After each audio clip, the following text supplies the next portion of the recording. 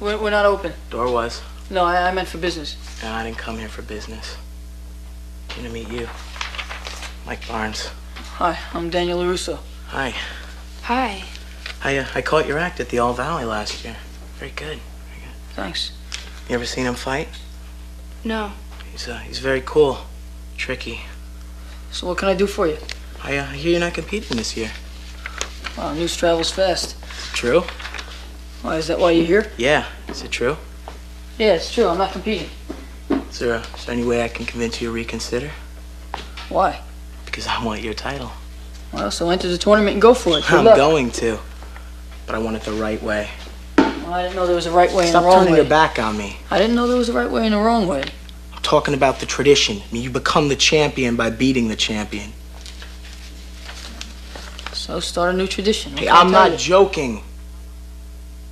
Neither am I. I won the tournament. I was champion. I don't have anything to prove. I do.